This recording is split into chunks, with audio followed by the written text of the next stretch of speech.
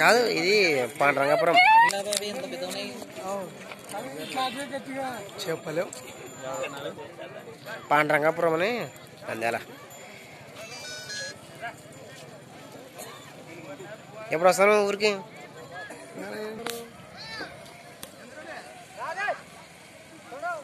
నీడకన్నా నీడకన్నారా తీసుకుంటా కొంచెంసేపు